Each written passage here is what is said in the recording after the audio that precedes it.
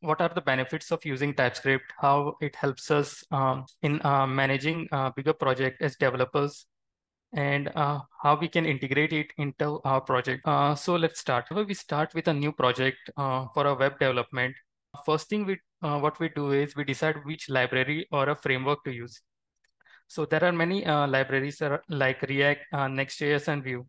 So these libraries simplify our work and provide a lot of features uh, that makes us easy when we are developing the features of the project. But uh, over time, uh, the project may grow uh, big, uh, large complexity and managing all the resources of the project, all the files, all the different function and component. So it becomes difficult. At that time, we can use uh, TypeScript. So TypeScript will help us to manage our project better. So it provides a lot of features with which we can uh, manage all the functions, all the files within our project. So first of all, what is TypeScript? So TypeScript uh, was developed by Microsoft in 2012. So to address a lot of shortcomings of JavaScript, TypeScript is a superset of JavaScript. What that means is um, TypeScript is built on top of JavaScript. It has all the features that JavaScript provides, plus uh, it adds it ad additional features uh, to make TypeScript much more safe, make JavaScript much more safer to use in your project. And it allows, uh, it puts a lot of syntax uh, and uh, type safety into JavaScript. So uh, also uh, TypeScript has a uh, strong type system. That means is whenever you declare any variable in TypeScript, you specify a type to it, meaning what value it will store. And when helps us to better under, better store the values and pass the values to different functions in our code. Uh, when we know the type of the value, we can uh, get much better uh, tooling support from Visual Studio Codes, much better autocomplete. And TypeScript also tells us uh, whenever an issue might occur with that type. Uh, another thing with TypeScript uh, is that it is a compilation language.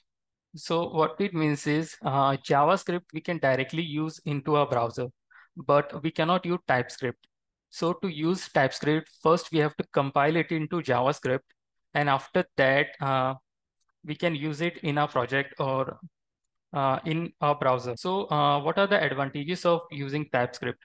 So first of all, uh, is the static typing. So uh, what that means is every variable we specify the type of value that it is going to store. Uh, same goes for functions and uh, whatever return value uh, our function uh, may return. So this helps us to catch error at compile time, uh, reducing the likelihood of runtime errors. So we can catch error uh, while we are actually typing our code based on the type of the variable uh, uh, TypeScript can tell us whether any error is going to occur. And uh, with that, we can fix the error before we can uh, actually run and uh, identify the error. Second thing is enhance code quality. So uh, static typing and type checking leads to improved code quality and re readability. Developer can fix and catch and fix errors early in development process resulting in fewer bugs and more robust application. Uh, next thing is uh, better tooling support. TypeScript is well uh, supported by modern code editors like uh, Visual Studio Code. So this provides features like autocomplete, code navigation, real-time error checking, enhanced developer productivity. So uh, one thing with uh, Visual Studio Code is it has support for TypeScript. So whenever you specify a variable, and let's say it is going to store a string value. So then uh, when you try to look at all the functions which we can uh, use on it, so it will only give you the function uh, which can be run on string. It will not give you the entire list uh, of all the functions. Uh, like uh, it can also provide you, like in normal JavaScript, it, it will give you a list of all the function uh, for string numbers. But in TypeScript, it will only give you those functions which are available on that uh, string type. So next uh, thing is uh, declaration file. So uh, TypeScript allow you to declare, uh, write a declaration file. So this file end with a d.ts extension. And this provides us information about the uh, different functions uh, variable and all the return types uh, available on that function. So this uh, helps us to identify uh, work much better with the any third-party libraries and also enforced uh, type uh, enforced types and external in external code. So uh, whenever we use a third-party library, so the biggest problem is uh, identifying which other which are the functions uh, which are present inside that library. So many of time uh, we have to go to the documentation again and again to identify um, what are all the functions uh, which are available. But with a TypeScript, you don't have to go to the documentation much. With type declaration file, once you import that library in your project, uh, it will automatically list all the functions uh, which are present. Uh, next thing is code uh, readability. So uh, one thing about TypeScript is a type annotation. So whenever you um, assign a variable a type, so it or let's say you directly assign a variable a value. So based on that uh, value, it will automatically add, allow, uh, add a type to itself. Um, so that helps us uh, in much uh, self-explanatory code. Uh, developers can quickly understand and uh, understand the expected data type and structure without needing to deep dive into the code. So many a time, uh, even with functions, um, in TypeScript, we can identify what are the parameters a function takes and what it returns. So that helps us to better uh, encode read uh, readability. So uh, let's look at some of the differences between TypeScript and JavaScript. So in TypeScript, uh, every variable that you create uh, functions. So all should be, a, uh, all have a static type to it. So uh, whatever value uh, that it's going to store, you already specified. Let's say you create a variable name and you assign a type string to it. So that name variable is only going to store uh, string values. Uh, if you try to assign it uh, some other value like a number so at that time, it will give you errors. Uh, whereas uh, in JavaScript, all the variables that you declare are of a dynamic. So uh, if you create a name variable in JavaScript, assign it a string, uh, somewhere down the uh, code, you can also assign some other value to it, uh, like numbers, an array, or even booleans, and it will take that value without any complaint. Uh, Another uh, next thing is uh, TypeScript requires you to compile your code from TypeScript to JavaScript before it can be used in uh, your application or in your browser.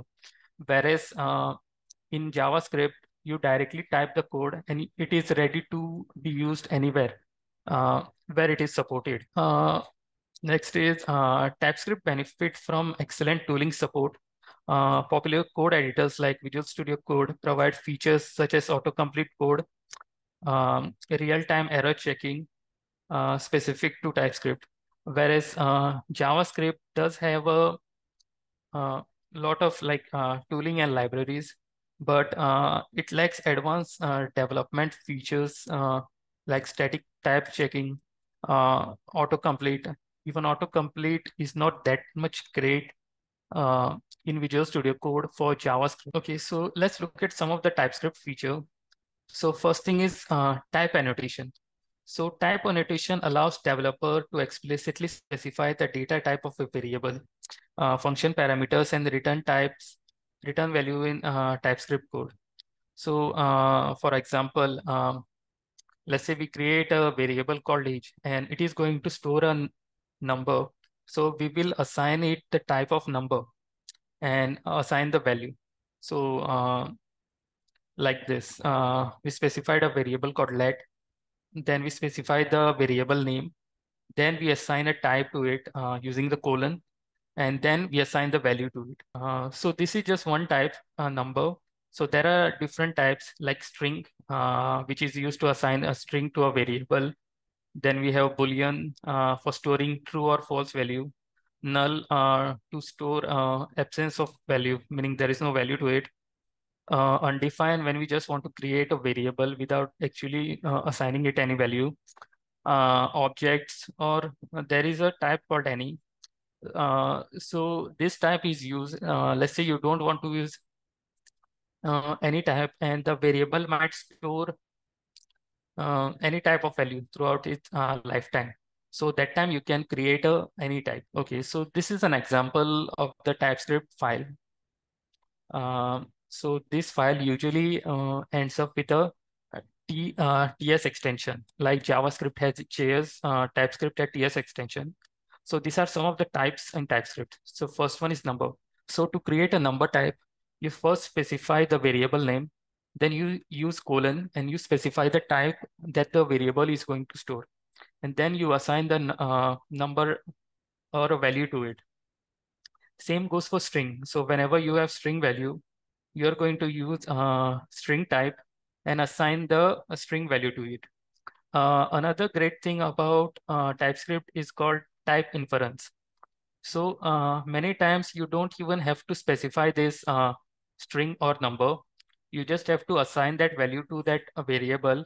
And based on the value that you have assigned, it will automatically pick up a type for that uh, variable. Uh, so this is how you create a Boolean variable. Uh, you just use a type Boolean. And this variable uh, where you assign the type to it, they are going to store only that uh, those values. Uh, you will not be able to assign any other value to it. Uh, this is how you create an object. You specify object and you can then specify the keys in the object. To create an array, uh, you can use the square brackets uh, to specify it is an array. And last one is the any type where you can assign any value to the variable. Uh, so that uh, becomes something like JavaScript, normal JavaScript, where you can add assign any uh, value to a variable. Uh, so these are some of the custom types in uh, JavaScript, TypeScript. So uh, let's say you want an array uh, which is only going to store uh, string uh, values. So at that time, you first specify the type like this, and then you specify the uh, square brackets. Same goes for string. Then we have union type. Let's say a variable is going to store more than one type. Uh, let's say it's going to store uh, number and a string. So at that time, you can use the union type to specify that the var uh, variable might store uh, string or uh, numbers. Same goes for uh, intersection. So intersection types allow you to, what it allows you to do is, uh, let's say you created multiple types and you want you want another type to be created, which is a combination of uh, your previous types. So that time uh, you can use the intersection type and you can use the AND operator to join those types. Uh, then we have interfaces. So interfaces is like um, like an important topic in uh, TypeScript. So what interfaces allows you to do is uh, it allows you to create an object uh, with all the uh, keys and the type it is going to store. And uh, then we have enums. So enum allows you to do is uh, create named constant. So uh, let me give you an example. Uh, let's say you want to, let's say there are user account and you want to store the different, um, specify the different statuses of the account. Like the account is active, disabled, or let's say it is pending for approval. So instead of directly assigning it uh, some numerical value, you can create a uh, enum object where you specify the name, uh, let's say active, and then you assign a value to it. Uh, let's say a one.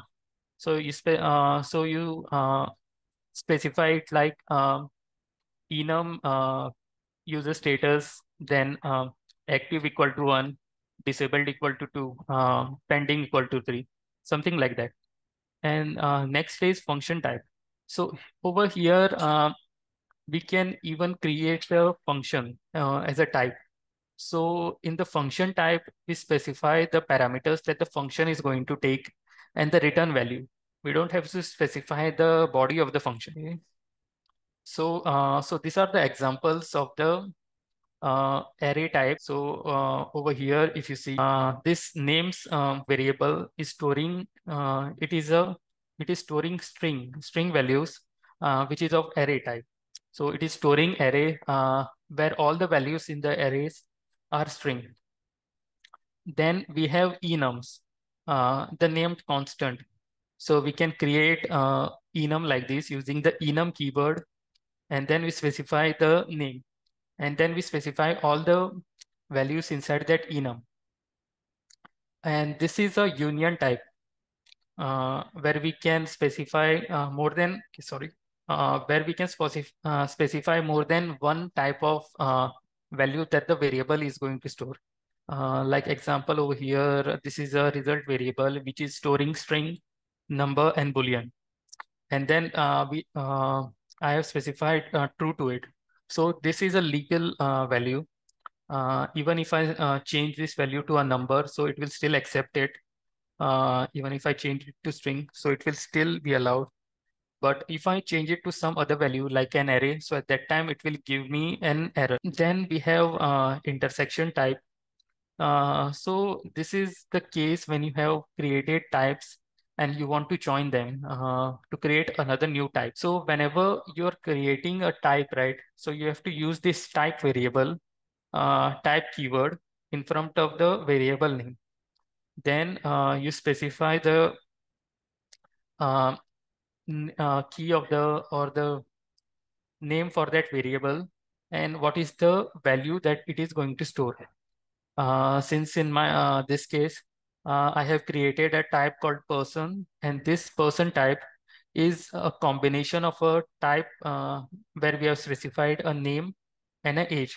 So this AND operator will join uh, these two very uh, these two different types and uh, those two types will be available on this person. Uh, here we have an interface. So for better understanding of interface, uh, we usually start them with an I and then the interface name. And uh, the most important is the keyword. Then inside this, uh, we create like an object. And inside this object, we specify the uh, different keys of the uh, this object. So this object, uh, this ob user object is has a name which is storing a string. Then we have age, which is storing number. And the last one is uh, this uh, get age. So this is a function type and we have specified it with uh, round braces. Since uh, this is empty, uh, that means it is not going to take any value. Uh, and then we have specified the arrow arrow functions and then the number. So this function doesn't have any input parameters, but whatever that function will return. So that will be of type number. Okay. Uh, then uh, I have assigned this uh, interface to a variable uh, new user, and then I have specified all the keys. Uh, so what uh, this interfaces does is, if you specify them in one file, let's say even for a function that we, and when we import that function to some other file, we exactly know what are the different values uh, that it is going to take. Uh, so uh, the second feature is interfaces, which I have specified. So, uh, so these are like, um, you can shape an object with different keys of that object and specify what are the values uh, that those keys are going to store. Uh, next, we have another feature, generics. So generic is like an advanced feature in TypeScript. So what generic does is, let's say you create a function and that function, um, uh, let's say it is for uh, swapping two numbers. You're going to uh, provide it two numbers. Uh, it is going to swap them and return the value. Uh, but this function is only for now taking uh, numbers. let's say we want to extend it to some other type. Let's say we want to pass in string, or let's say even let's say array. So in that case, instead of writing individual function for each of these cases, we can cre uh, create a single function and create a uh, make it a generic function. So what it does is based on the type of variable um, uh, it receives, it automatically identifies the type and uh, it will adjust itself.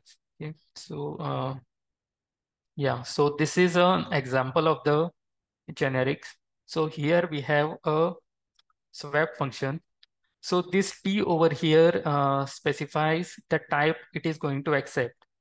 Uh, over here, we have the function parameters uh, A and B, and we are assigning that uh, type uh, to this A and B. So let's say this uh, T, we pass it as a string. Then both A and B will be considered as string. And then it returns an array with uh, uh, those types. Uh, so since, uh, let's say we pass it as a string, then the return string automatically becomes uh, string. And we just uh, return the value since okay so this is the example since we are passing both numbers to it so this t will um, identify that the numbers are being passed and then assign this number type to these two variables and it will also set the return type to number and then uh, it will whatever value that comes out of this function will be treated as number uh, same uh, for string if we pass string value to it so it will um, automatically identify that um, it is a string and it will assign those variable of type string. Okay, so uh, let's look at how we can set up uh, TypeScript in our project. So first thing for setting up TypeScript, uh, you require Node.js and NPM installed. So uh, to install this, you can go to the Node's official website and you can download uh, Node.js which also comes with uh, npm. So after installing, uh, you can uh, run the node minus v or, and npm minus v to check the version which is installed. So this also helps us to identify both the packages are installed properly or not. So next thing is uh, using npm, we are going to install TypeScript. So, uh, so, for that, we will use the command npm install minus g TypeScript. So this will install TypeScript on a global level. So uh, no matter which directory or uh, which folder we, uh, we are inside, uh, we can use TypeScript over there without uh, like uh, it being to a specific directory. So after running the command, we can run the command tsc minus v to check whether TypeScript is installed or not. So tsc is the command to invoke TypeScript Okay, so uh, okay, yeah. So uh, so once we set up our project, we need to initialize that project as a TypeScript project. So to do that, uh, inside that directory, we have to run the tsc minus minus init command. So this command will uh, create a tsconfig.json file, uh, which we can configure uh, uh, to configure our compiler. Uh, so whatever settings that you change in the ts config file, those will be picked up by the T, uh, TypeScript compiler when you uh, run the command. Okay. Uh, over here, I have an empty project. Uh, I only have an index.html, which is referencing a dist folder and main.js inside of it. then we have two input variables and one button we have two folders over here, which are both empty. Uh, to initialize this project first into TypeScript project, uh, we will open the command. Uh, first, we, uh, I already have uh, TypeScript installed, so I don't have to run the npm install minus g TypeScript. Um, so first command that you will run to initialize this directory is tsc minus minus init. So uh, we'll have to wait a little while and uh, this will create a uh, ts config file inside this directory. Uh, this is the file which is generated after running this command. So this has all the settings uh, which you are going to use for your project. So these are uh, all the mm, options and most of them are uh, already commented. Uh, many of these options you are not going to use. So for our project, so first of all, what we'll do is we'll specify an outDir where here it is. We'll uncomment this line and we specify to dist. Uh, here also we can specify the file which uh, the JavaScript will be uh, or TypeScript will be compiled to. Then uh, we will use this uh, declaration. Uh, we will set it to true. So this will generate the dot d.ts file. Then uh, we can specify the type module. Uh, we can specify over here the target. So uh, like I mentioned that uh, all the TypeScript code gets compiled to JavaScript. So over here, we can specify uh, which version of JavaScript it needs to be compiled to. If I remove this and just uh, space, press control and space, uh, so this will auto give me an autocomplete list of all the options uh, which are available. Uh, next is the module type. so this will give us an, a different option like CommonJS, different ES versions, Node, and then uh, next line that we will be uncommenting is a rootDir. So over here, we specify uh, which folder uh, where all our TypeScript file will be present. So over here, let's go src. Uh, yeah. Now uh, we just have to create one file, main.ts, press enter. So this will create a file. Now, uh, so let's look at different types. So to create a number, uh, so one thing I mentioned about uh, type inference. So whenever we uh, assign a value to a variable, it will automatically pick up that type. So if I hover over this, uh, it will tell me uh, the type. So let's say I go st dot, and now in this autocomplete box, all these functions which are shown over here are only related to, let's look at this file since we are already uh, short on time. Okay.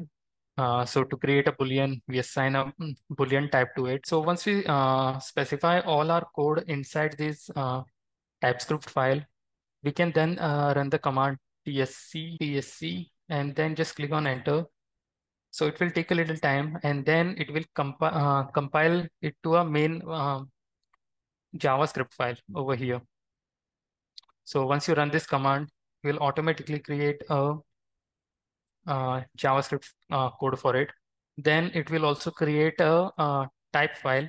So this has all the type and the uh, different parameters take.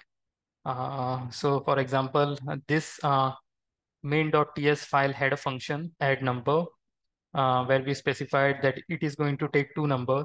So based on this, uh, it generated the uh, main.d.ts uh, with the function name and uh, the parameter it, it is going to take. So let's say next time we create a module out of it and we want to import this function, that time we will know what are the different parameters that function is already taking and what type of value it is uh, returning. Since it is void over here, it will not return. Uh, these are some of the resources for TypeScript. Uh, so if you want to learn TypeScript, there is a website called TypeScript Playground, uh, where it allows you to uh, practice with TypeScript without actually having to set up on your local device. Uh, second thing is the official TypeScript documentation. So this will uh, list you, uh, give you a list of all the different types which are available in TypeScript. What are the different methods you can use? And there are a uh, few courses also in our uh, Udemy account if you want to learn TypeScript.